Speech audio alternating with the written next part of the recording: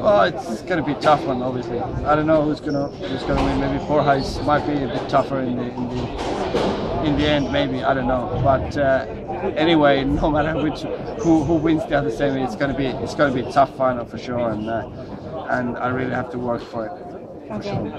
sure.